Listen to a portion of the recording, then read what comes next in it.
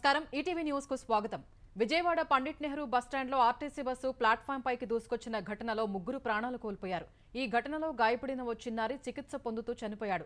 విజయవాడ ఆటోనగర్ డిపోకు చెందిన బస్సు గుంటూరు వెళ్ళేందుకు బస్టాండ్లోని పన్నెండో ప్లాట్ఫామ్ వద్దకు వస్తూ ఉన్నట్టుండి ప్లాట్ఫామ్ పైకి దూసుకెళ్ళింది ఈ వేగానికి బస్సు చక్రాల కింద పడి గుంటూరు రెండు డిపోలో పనిచేసే ఒప్పంద ఉద్యోగి వీరయ్య చీరాల వెళ్ళేందుకు వచ్చిన మరో మహిళ ప్రాణాలు కోల్పోయారు. ఆ మహిళ మనవడు అయాన్స్ తీవ్రంగా గాయపడి చికిత్స పొందుతూ ప్రాణాలు వదిలాడు. ఆమె కోడలికి కాలు విరిగింది. ఈ ఘటనలో ప్రాంగణంలోని దిమ్మెలు ఫెన్సింగ్ టీవీ కుర్చీలు ధ్వంసం కాగా దుకాణంలోని వస్తువులు చెల్లాచెదురుగా పడ్డాయి. యాక్సలరేటర్ పట్టేసినందున కదల్లేదని రివర్స్ గేర్ బదులు ఒకటో గేర్ వేశానని బస్సు డ్రైవర్ చెబుతున్నారు. అటు ప్రమాద స్థలాన్ని పరిశీలించిన ఆర్టీసీ ఎండీ ద్వారకా తిరుమలరావు మృతుల కుటుంబాలకు ఆర్టీసీ తరపున ఐదేసి లక్షల పరిహారం ప్రకటించారు. క్షతగాత్రులు పూర్తిగా కోలుకునే వరకు వైద్య సాయం అందిస్తామన్నారు. ఈ దుర్ఘటనపై దిగ్భ్రాంతి వ్యక్తం చేసిన సీఎం జగన్ మృతుల కుటుంబాలకు పదేసి లక్షల పరిహారం ప్రకటించారు. ఈ ఘటనపై సమగ్ర విచారణ జరిపి నివేదిక ఇవ్వాలని అధికారులను ఆదేశించారు. విజయవాడ పండిట్ నెహ్రూ బస్ స్టేషన్ ప్రమాదంలో ముగ్గురి మృతి బాధాకరమని తెలుగుదేశం జాతీయ ప్రధాన కార్యదర్శి నారా లోకేష్ అన్నారు. ఈ ప్రమాదానికి జగన్ ప్రభుత్వమే బాధ్యత వహించాలని డిమాండ్ చేశారు. కాలం చెల్లిన బస్సుల కారణంగానే ఏపీలో తరచూ ప్రమాదాలు సంభవిస్తున్నాయని లోకేష్ ఆగ్రహం వ్యక్తం చేశారు. ఏపీలో వైకాపా అధికారానికి వచ్చిన తర్వాత ఒక్క కొత్త బస్సు కూడా కొనలేదని లోకేష్ ధ్వజమెత్తారు. నాలుగున్నరేళ్ళ నుంచి ఆర్టీసీ గ్యారేజీల్లో నట్లు బోల్టుల కొనుగోలుకు కూడా ప్రభుత్వం నిధులు ఇవ్వటం లేదని మండిపడ్డారు. ఎప్పటికప్పుడు ఖాళీలు భర్తీ చేయనందున ఆర్టీసీ సిబ్బంది తీవ్ర ఒత్తిడికి గురవుతున్నారని లోకేష్ వివరించారు. మృతుల కుటుంబాలకు ప్రగాఢ సంతాపం తెలిపిన ఆయన మృతుల కుటుంబాలకు క్షతగాత్రులకు మెరుగైన పరిహారం అందించాలని ప్రభుత్వాన్ని కోరారు. ప్రభుత్వ పెద్దల ప్రోద్బలంతోనే ఆంధ్రప్రదేశ్లో దళితులపై వరుస దాడులు జరుగుతున్నాయని తెలుగుదేశం జాతీయ ప్రధాన కార్యదర్శి నారా లోకేష్ ధ్వజమెత్తారు. దళితులపై దాడులకు పాల్పడిన అరాచక శక్తులపై చర్యలు తీసుకోవడంలో ప్రభుత్వ అలసత్వమే అందుకు నిదర్శనమని అన్నారు. తాజాగా ఎన్టీఆర్ జిల్లా వీరులపాడు మండలం పెద్దాపురంలో దళితుడైన నిప్పుల కోటేశ్వరరావు కుటుంబంపై వైకాపాకు చెందిన ముత్తారెడ్డి దాడికి పాల్పడటం దారుణమని అన్నారు. కులం పేరుతో ముత్తారెడ్డి తనను దూషించాడని పోలీసులకు బాధితుడు కోటేశ్వరరావు ఫిర్యాదు చేసినా పోలీసులు పట్టించుకోలేదని లోకేష్ ధ్వజమెత్తారు. ఈ దాడి తర్వాత బాధిత కుటుంబానికి వైద్యం చేసేందుకు నందిగామ ప్రభుత్వాసుపత్రి సిబ్బంది నిరాకరించారని లోకేష్ ఆవేదన వ్యక్తం చేశారు. కంచకచెర్లలో దళితుడైన కాండ్రు శ్యామ్కుమార్పై మూత్ర విసర్జన చేసిన ఘటనలో బాధ్యులపై బెయిలబుల్ సెక్షన్ల కింద కేసు పెట్టడం చూస్తుంటే దళితులపై ప్రభుత్వ అండతోనే దాడులు జరుగుతున్నట్టు స్పష్టమవుతోందని లోకేష్ మండిపడ్డారు. ఏపీలో దళితులపై జరుగుతున్న అరాచకాలపై కేంద్రం జాతీయ మానవ హక్కుల కమిషన్ జోక్యం చేసుకోవాలని లోకేష్ కోరారు. ఫైబర్ నెట్ కేసులో టెరాసాఫ్ట్ కంపెనీ ఆస్తుల్ని అటాచ్ చేసేందుకు అనుమతి కోరుతూ విజయవాడ ఏసీబీ కోర్టులో సీఐడీ పిటిషన్ వేసింది. ఏడు ఆస్తుల్ని అటాచ్ చేస్తున్నట్లు సీఐడీ అధికారులు పిటిషన్లో పేర్కొన్నారు. ఈ ఆస్తుల అటాచ్మెంట్కు ఏపీ ప్రభుత్వం ఇప్పటికే సీఐడీకి అనుమతి ఇచ్చింది కొడంగల్ ప్రజలు తనకు కట్టబెట్టే మెజారిటీ దేశానికే సందేశం ఇవ్వాలని తెలంగాణ పీసీసీ అధ్యక్షుడు రేవంత్ రెడ్డి ఆకాంక్షించారు. కర్ణాటకలో డీకే శివకుమార్కు వచ్చిన ఓట్ల కంటే అధిక ఓట్లతో గెలిపించాలని కోరారు. భారీగా తరలివచ్చిన అభిమానులు కార్యకర్తల కోలాహలంతో కొడంగల్ కాంగ్రెస్ అభ్యర్థిగా రేవంత్ రెడ్డి నామినేషన్ దాఖలు చేశారు. హైదరాబాద్ నుంచి బయలుదేరే ముందు జూబ్లీహిల్స్లోని తన నివాసంలో రేవంత్ వేద పండితుల ఆశీర్వాదం తీసుకున్నారు. అనంతరం హెలికాప్టర్లో కొడంగల్ చేరుకుని నేరుగా గడీబాయి శివాలయానికి వెళ్ళి పూజలు చేశారు. తర్వాత కొడంగల్లోని తన నివాసం వద్ద ఏర్పాటు చేసిన సభా ప్రాంగణానికి భారీ వాహన శ్రేణితో వెళ్ళారు. కొడంగల్ చౌరస్తాలో అంబేద్కర్ విగ్రహానికి పూలమాల వేసి నివాళులర్పించారు. కాంగ్రెస్ తనకు ఇచ్చిన పదవి కొడంగల్ ప్రజలందరిదని చెప్పారు. తర్వాత ర్యాలీగా వెళ్ళి రిటర్నింగ్ అధికారికి నామపత్రాలను సమర్పించారు.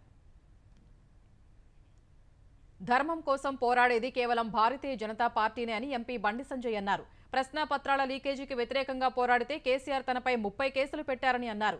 ర్యాలీగా వెళ్ళి కరీంనగర్ భాజపా అభ్యర్థిగా బండి సంజయ్ నామినేషన్ దాఖలు చేశారు.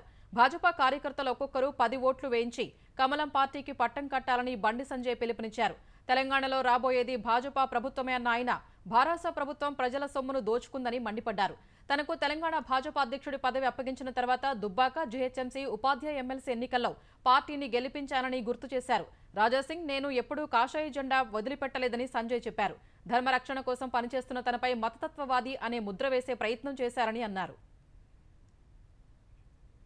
నీళ్ళు నియామకాల విషయంలో సీఎం కేసీఆర్ సంపూర్ణంగా విఫలమయ్యారని భాజపా ఎమ్మెల్యే ఈటల రాజేందర్ ఆరోపించారు. హైదరాబాద్ చుట్టుపక్కల ఐదు వేల ఎనిమిది వందల ఎకరాల భూమిని అభివృద్ధి పేరుతో చౌక ధరలకే కేసీఆర్ కుటుంబం తీసుకుందని ఆరోపించారు. బషీర్బాగ్ ప్రెస్ క్లబ్లో ఏర్పాటు చేసిన మీట్ ద ప్రెస్ కార్యక్రమంలో ఈటల పాల్గొన్నారు. కాళ్ళ కింద భూమి కదులుతోందన్న విషయాన్ని కేసీఆర్ గ్రహించడం లేదన్న ఈటల వాస్తవాలు చెబితే దబాయిస్తారని విమర్శించారు. హంగు వస్తే భారాసా కాంగ్రెస్ కలిసి ప్రభుత్వాన్ని ఏర్పాటు చేస్తాయన్న ఈటల భారాసా భాజపాలు ఒక్కటైతే తాను గజ్వేల్లో ఎందుకు పోటీ చేస్తానని స్పష్టం చేశారు. మేడిగడ్డ ఆనకట్టుకు మరమ్మతులపై ఎలాంటి సంస్థ ప్రతినిధులు దృష్టి సారించారు. బ్యారేజీలోని దెబ్బతిన్న ప్రాంతాల్లో పనులు చేసేందుకు సిద్ధమవుతున్నారు. ఇప్పటికే కాళేశ్వరం ప్రాజెక్టులోని అన్ని బ్యారేజీలు ఖాళీ చేసిన అధికారులు ఎగువ నుంచి వస్తున్న నీటిని కుంగిన ఏడో బ్లాక్ను తాకకుండా మళ్ళించారు. ఎగువ నుంచి ఇరవై ఆరు వేల ఐదు వందల క్యూసెక్కుల ప్రవాహం వస్తుండగా యాభై ఏడు గేట్లు ఎత్తి నీటిని విడుదల చేస్తున్నారు. ఇటీవల బ్యారేజీకి సంబంధించి రెండు పియర్ల వద్ద బుంగలు ఏర్పడగా అప్రమత్తమైన ఇంజనీరింగ్ అధికారులు తాత్కాలికంగా కట్టడి చేశారు. ఇప్పుడు శాశ్వత పనులపై దృష్టి పెట్టినట్టు తెలుస్తోంది. ఆంధ్రప్రదేశ్లో దీపావళి పండుగను పురస్కరించుకుని ఈ నెల పదమూడున సాధారణ సెలవుగా ప్రకటిస్తూ నోటిఫికేషన్ వెలువడింది. ఈ మేరకు ప్రభుత్వ ప్రధాన కార్యదర్శి కెఎస్ జవహర్ రెడ్డి ఉత్తర్వులిచ్చారు. ఇందుకోసం సాధారణ సెలవులు ఆప్షనల్ సెలవుల జాబితాలో స్వల్ప మార్పులు చేయగా ఈ నెల పదమూడున ఆప్షనల్ హాలిడే బదులుగా సాధారణ సెలవుగా పరిగణించనున్నారు. ఢిల్లీలో వాయు నాణ్యత వరుసగా ఐదో రోజు ప్రమాదకర స్థాయిలో ఉన్నట్లు కేంద్ర కాలుష్య నియంత్రణ బోర్డు తెలిపింది. ఆదివారం నాలుగు వందల పది పాయింట్లు నమోదైన వాయు నాణ్యత సూచి ఇవాళ నాలుగు వందల ఎనభై ఎనిమిదికి పెరిగినట్టు పీసీబీ వివరించింది. ఈ పరిస్థితిలో నాలుగో ప్రమాదకర స్థాయి గ్రేడెడ్ రెస్పాన్స్ యాక్షన్ ప్లాన్ను కఠినంగా అమలు చేయాలని ఢిల్లీ సర్కారు నిర్ణయించింది. ఈ మేరకు ఢిల్లీలో మరోసారి సరీ బేసి విధానం అమలులోకి తేవాలని తీర్మానించింది. దీపావళి తర్వాత రోజు నుంచి సరీ బేసి విధానం అమల్లోకి వస్తుందని ఈ నెల ఇరవై వరకు కొనసాగుతుందని తెలిపింది. నిత్యావసర అత్యవసర సేవలు అందించే ట్రక్కులు మినహా మిగిలిన భారీ వాహనాల రాకపోకల్ని నిషేధించాలని ఆదేశాలు జారీ చేసింది. ఈ ఆంక్షలు ఢిల్లీ సహా ఎన్సీఆర్ ప్రాంతాలకు వర్తించనున్నాయి. విద్యార్థులకు ఆన్లైన్ తరగతులు నిర్వహిస్తున్నారు. ఢిల్లీలో ఊపిరి తీసుకోవడం కూడా కష్టంగా మారిందని స్థానికులు ఆవేదన వ్యక్తం చేస్తున్నారు. కాలుష్య కోరల నుంచి బయటపడేందుకు ఢిల్లీ వాసులు పక్క రాష్ట్రాల్లోని వివిధ పర్యాటక ప్రాంతాలకు వెళ్ళిపోతున్నారు గాజాపై ఇజ్రాయెల్ జరిపిన దాడుల్లో ఇప్పటివరకు ఐక్యరాజ్య సమితికి చెందిన ఎనభై ఎనిమిది మంది సిబ్బంది ప్రాణాలు కోల్పోయారు. ఐరాస ఏర్పాటు తర్వాత ఒకే యుద్ధంలో ఇంతమంది సిబ్బంది మరణించడం ఇదే తొలిసారి కాగా వారంతా పాలస్తీనాలోని శరణార్థి విభాగంలో సేవలందిస్తూ చనిపోయినట్టు తెలిపింది.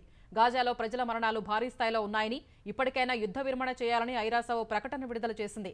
అదే సమయంలో హమాస్ కూడా వారి వద్ద ఉన్న బందీలందరినీ బేషరతుగా విడుదల చేయాలని పేర్కొంది. గత నెల నుంచి జరుగుతున్న ఈ పోరులో రెండు వైపులా సామాన్యులే బలయ్యారని ఇప్పటికైనా యుద్ధానికి ముగింపు పలకాలని అభ్యర్థించింది.